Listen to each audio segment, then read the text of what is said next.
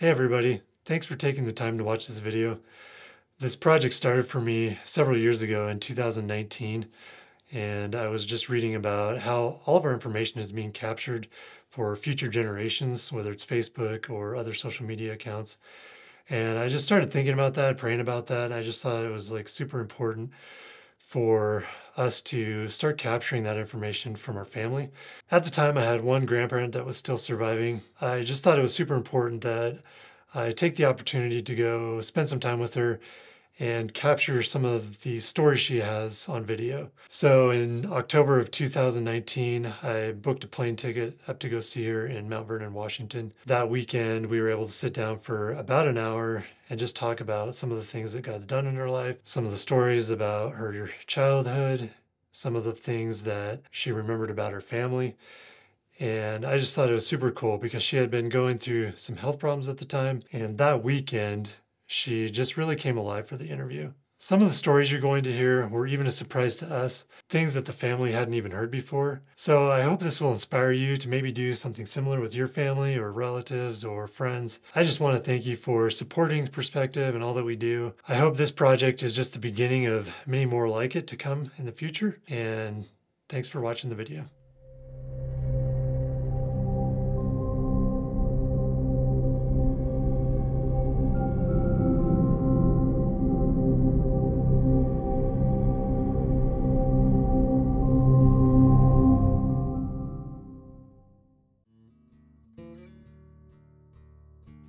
Name Gladys Josephine Weaver Chapman, and I was born in June 2nd, 19, 1926.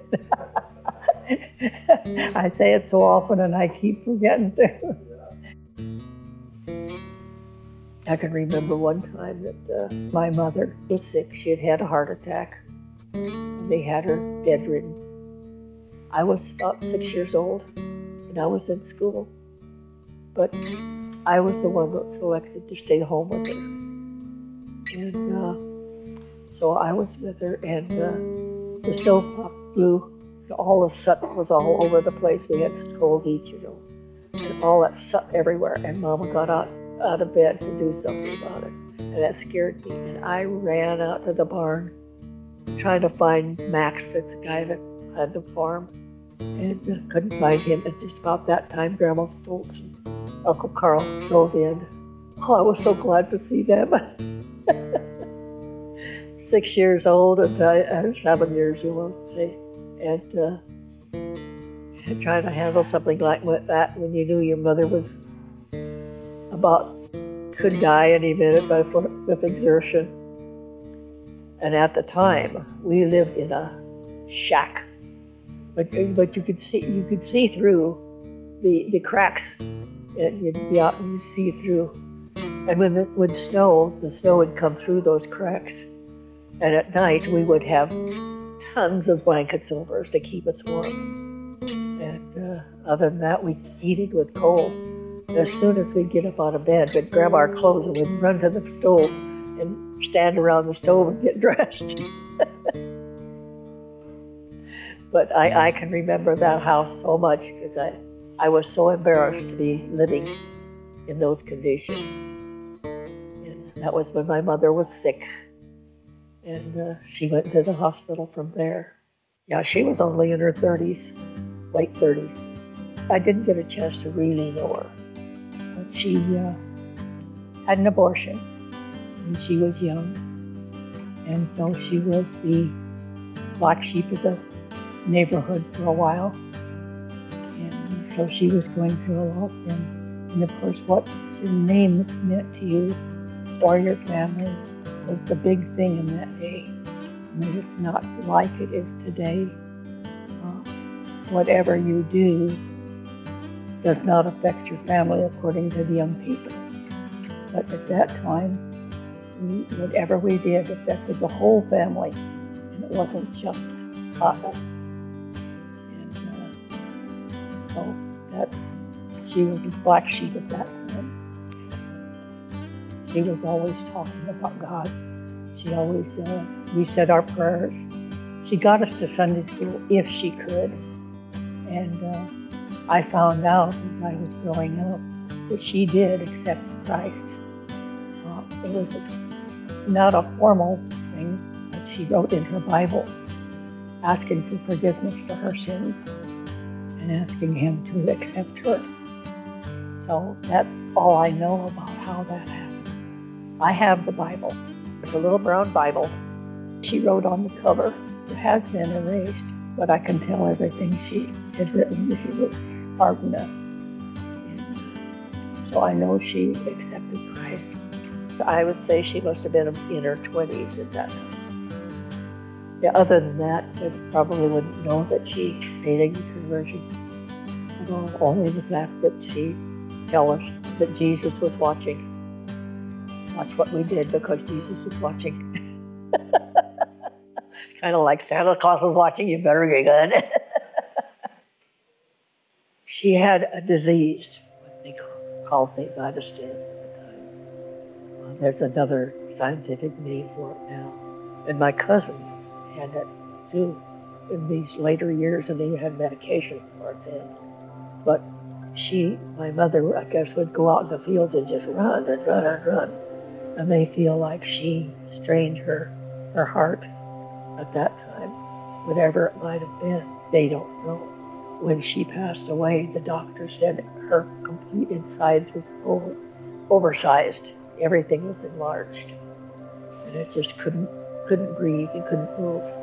The people that I talked to after her death said she was the kindest, most gentle person they ever knew. She had a lot of good things said about her. As I say, I, I, I knew her as a mother, but she was sick most of the time when I was growing up. One of her sisters were at the foot of the bed. She was in the hospital. She was in an oxygen tent. My dad was on one side, my grandmother on the other, before I was at the foot of the bed. And she was going in and out consciousness. And she said, Oh, don't you see those flowers? Those beautiful flowers. And all the birds are singing, they're just beautiful. And uh, then she would come back and she would tell us something she would like to have us do in our lives. She knew she was dying. So she asked us to promise not to smoke or drink.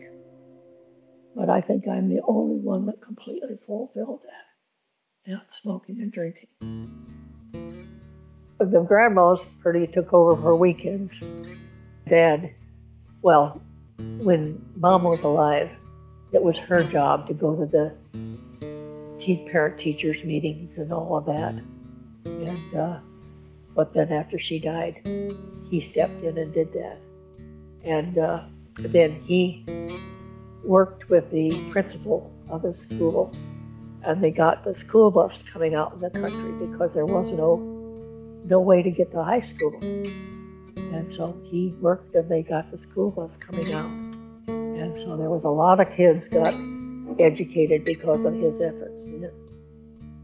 And uh, so he he made a lot of changes after my mother passed away. And he took on his responsibilities. He never married and he kept all four of us girls together. And I, I wasn't the last one to leave nest, but Dorothy was the last one. When he was younger, they lived out on a farm. He was on the tractor. A cousin of his or something did something, and it caught the tractor on fire. And my dad's leg got burnt real bad. And ever after that, he kept getting open sores from that leg. And I can remember her spending a lot of the time in the hospital when I was a little girl. He was in there quite a while. They said he had sugar poisoning, and he worked at the sugar factory. So they said he got sugar poisoning in. Just about the time I got married, he was having trouble with an open sore, and he was doctoring it. And I can remember the day before I got married, I was out in the kitchen taking care of him. It didn't look very good. Then we got married. And the last time I saw him, he was on the steps of the church watching us as we drove by and waved at us. That was on a Wednesday night. And the following Saturday, he went to a dance. And uh, Uncle Henry didn't go with him this time for some reason or other. And uh, so he went to Fort Lupton to a fireman's dance. And then he met somebody there, according to what we hear.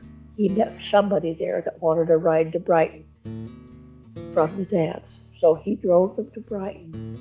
And then he was on, he had dropped them off evidently and uh, was on his way home. And then he stopped at this little cafe and uh, knocked on the door. Joe was already cleaning up and that. So he went to the door, and just about the time he got to the door, my dad just dropped, and he was dead. They said it was a clot. When I was married, we moved over to Edwards, Edwards, Colorado. I moved in with my sister, Eva Mae Lawson, and uh, our families lived together for a while. And at that time, I met what they called the boys. They were preachers. And they weren't formal preachers, but they were they preached the gospel. And they would come around once a week and preach the gospel to the neighborhood. The boys kept visiting quite often. Bob, my husband, my brother in law Paul were in business together, and they were having problems between the two of them. Paul came to me and told me a, a story, and I fell for it and got some of the papers that he needed to do his business the way, way he wanted to. And so that made my husband Bob very unhappy. When he heard about it, he headed out to go. He said, oh, I'm going to kill that man. And the boys were at the house at the time. So we prayed. And he changed his mind before he got there. So I meant, I say, there's the one, one thing that I can remember that prayer really worked. Bob and Paul never got along. Well, it was good when we separated. When we went down to Glenwood Springs, we found a place down there, and he moved a bunch of sheep down there and took care of them. I lived in Eagle for a while with the kids so they could stay in school. Uh, it was kind of hard. It, we would see each other maybe on weekends, maybe not. We had moved to Carbondale, and uh, the boys kept visiting all this time, and you know, talking about Christ. And uh, I would go to the gospel meetings when I could. And then they had a uh, revival camp down in uh, Hotchkiss, Colorado. Just before they went down there, I talked to Art. That was one of the boys. And at the gospel meeting that night, I accepted Christ. And uh, then we went down to the uh, revival meeting, and that's when I was baptized. In a real cold, cold stream in Colorado in June. So it really got to me. I definitely remember that. Bob was not a believer, so it was hard to put both lives together.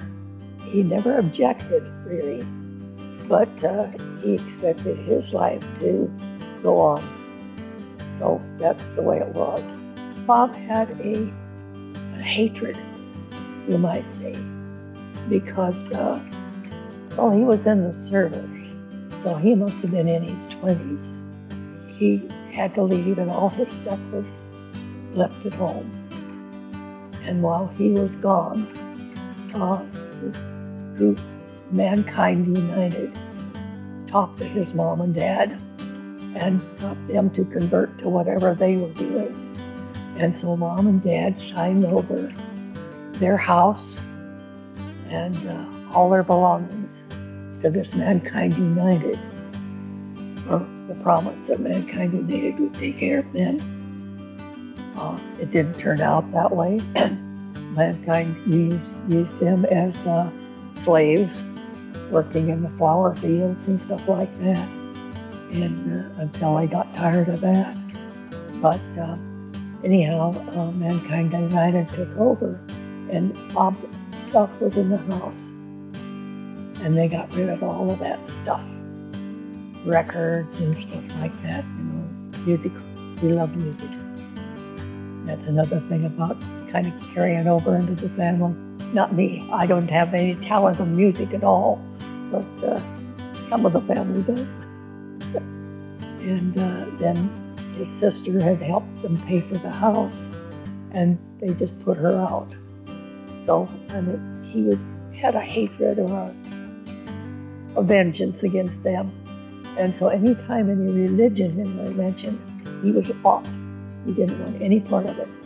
So that, that was the main thing that was keeping him from listening. And the boys, the preachers, talked to him a number of times. And so he knew the gospel. And he knew what it was all about. But he just wouldn't accept it because he was angry. He lived with that anger. He didn't accept Christ until he was on his deathbed, you might say. And uh, he got cancer. And he went through a lot with that, taking the chemo and all the drugs and that. I had been reading the uh, Bible to Bob. And uh, was reading in uh, First John. Keith, our pastor, would come down to Coeur d'Alene, just visit with me every so often. So on this one day, Keith was down there on Wednesday and visited and that. I left them alone a number of different times so they could go ahead and talk, not me and not around. It wasn't when Keith was there, but it was the next day that Bob said, uh, you suppose Keith would come down again? And I said, well, what? You want? Come talk to him about God. So we called Keith and he came back down the next day. And uh, he read the, the prayer and then Bob repeated it after him. And that's when he accepted. That was on February 18th, I believe, 1991. And after that, he, he changed, but uh, you didn't know for sure just what was changing. And, you know, our last year together was great. It was, we were able to talk about things and get things off our chest. And, uh, you know, it was uh, a memorable year for the both of us. You know, any marriage, there's differences. And uh, sometimes you can resolve them, and sometimes they just stay under your skin. Accept them. I think it was a year, maybe a year and a half before he died that he had accepted Christ. June 22nd, 1992. Maybe it was partly the fact that I had stayed in the faith. And that's what the boys, boys preachers used to say. If you are an example, he'll come around. It's not going, pressure isn't going to get him to uh, want to, he'll go fight against it then. Grandpa's thankful. The patriarch. Yeah. I think that this is wonderful that we can have all of the family together, most of the family, and I sure appreciate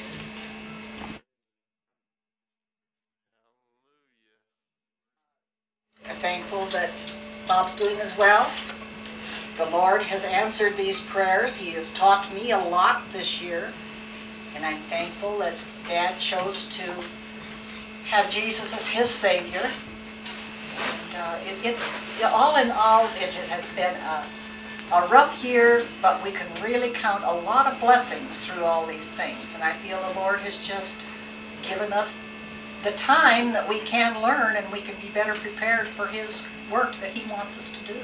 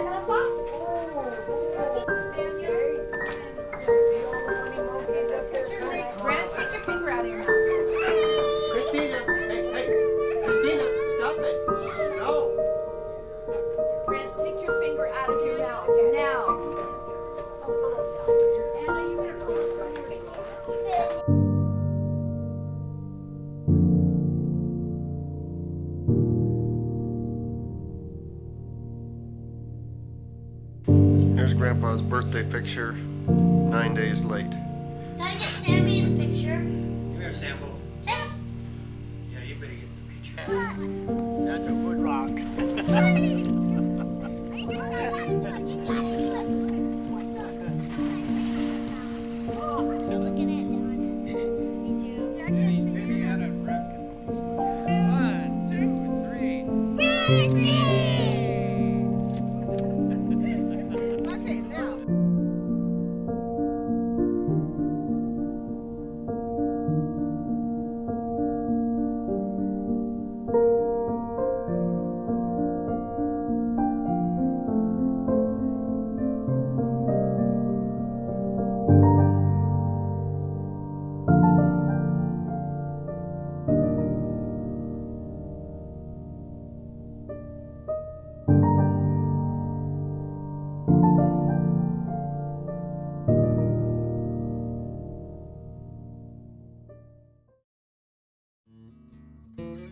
My mother's side, my grandmother did. Grandma Stoltz did talk about God and how we should behave according to what God would want us to do. But I'm not sure whether she actually made her conversion or not. She had her Bible and I know she read it. So whether she actually made a, a conversion or whether, you know, it was just a, a thing. But, uh, and now Grandpa Stoltz, there was nothing with him either. Of course, the men at that time wasn't macho. but they, were the head of the family, and that's what the way it was, and the, the women followed them. And if we believe, well, we followed quietly. Eva May did. She was the one that took me to uh, gospel meetings, and she accepted Christ. And she depended on him a lot too because Paul was not a very good provider and left her alone with the kids. So, and then uh, in this same group of uh, preachers, there was women, and so they followed up with her and uh, helped her out many, many times. And uh, so she she accepted before I did.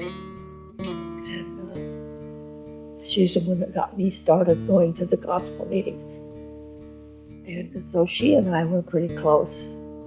Uh, Jessie went to church a lot. She was very active in the church, but I wouldn't say she ever made a conversion.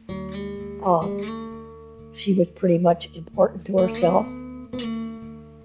And uh, Dorothy, she claimed that she was a Catholic. She didn't discuss anything. I as far she was there, she was an atheist. She went to church with the Catholics, but her belief wasn't so. But later on, uh, between Donna and I, we kept telling her about Jesus and how that when she was sick and everything. And towards the very last there, uh, she wrote a letter to me and uh, said that she now believed. That was a couple years ago. She started paying attention and believing and changing her attitude a couple years before that. But then I didn't get the letter a couple years ago, just before she died. So I would say two of my sisters, definitely. Uh, Jessie did a lot of church work, and she did a lot of good to people. I mean, she was always of service to someone, but she always bragged about it too. You never knew whether uh, she had the heart of Christ or whether it was just her. But, uh, she did a lot of the work in the church, so she tried. Eva May, I, I dare note very definitely, she was a, a very sweet person to begin with, and then all the trouble that she went through just had brought her to Christ. Well, I was having health problems. I was having a lot of angina, and so we began giving me medication for that. Janice was gone on a vacation, So I was here alone. And it was on a Tuesday, and so I went out and I got the uh, trash cans and that and brought them back in. And on the way back in, my legs just like they were going to give out. Well, I continued to come on in, and I thought I was going to make it to my chair, but I didn't quite make it. And evidently, I passed out. But when I woke up, I was sitting on the floor, and uh, I drugged myself and got myself up into the chair. And three times that same day, I passed out. And one of those times, I was reading the paper. And uh, it, it, the black just came over my face and back my neck and up over my head. And I blacked out like that. But then there was a light came on, a white light. I was in a room, and a white light was all around me, and all so peaceful. And I said, God, is this what it's like to be dead? I says, I am not afraid a bit. And I says, I thank you for all you've done. And about at that time, I snapped back to the earth again. he didn't like what I was saying, evidently. but uh, anyhow, that was an experience that I had that uh, your dad kind of holds on to, too. I saw the white light. But I said, it's not like the story I hear about people seeing the white light. They see it in a distance. With me, it was just all around me. And it was just such a pleasant feeling. So peaceful. And I wanted to go. and I got disappointed. then it happened a couple more times during the day, and that's when they took me to the hospital. And that's when they decided to put my pacemaker. Maybe if we wouldn't have had that pacemaker, maybe I could be dead by now. the doctors are keeping me alive. That's one of those miracles, you know. Just live your life according to God's will. And wisdom I can say. And find out what God's will is. Because uh, you can't direct your life in the manner that you would think. Uh, you know, go ahead and fun, eat, drink, and be merry. But uh, God, God wants you to do things His way. It doesn't mean that you can't be merry. You can be joyful. You can be full of the joy if so you do things right. It's when you don't do things right, when you get into rebellion, that things aren't very joyful. And I know that too. I never was a rebellious child. I was pretty much was one time that I was just a little girl and I had a very, very bad temper. And uh, my three sisters were teasing me, and we were all out in the barn. And uh, my, my temper got the best of me, and I picked up a pitchfork and threw it at them. They went in and told my mother. She came out there, and oh, I got the scolding of my life. And I sat on a chair in the kitchen for hours. It seemed like hours to me. But in a lecture about my temper. I had to control my temper. And you know, I have pretty much done so since then. That was a lesson I did learn. In high school, uh, bunch of us kids would go out and we went to the watermelon stealing one night. Oh, I knew I shouldn't, but I was with along with them.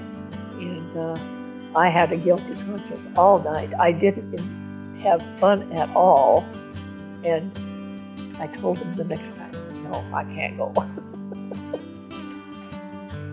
Yet, you know, it, it, my conscience pretty much told me when I was doing something very wrong. God, God has worked in me. And uh, so isn't what I've done, but what God has done in my life to reflect on other people.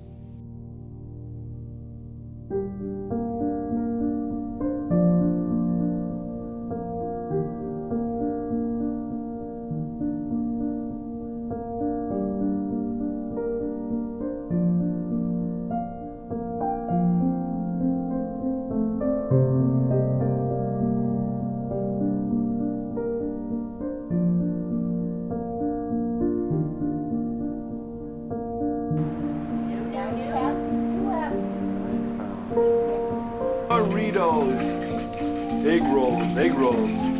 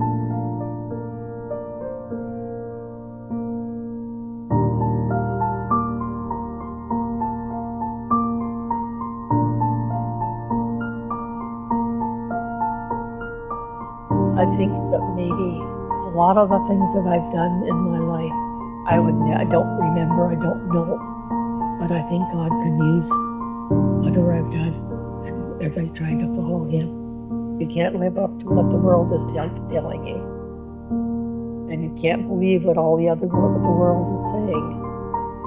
So you just have to lean on God. That He would give you the wisdom to be able to Just pray that you will be the example He wants you to be. Be the kind of person He wants you to be.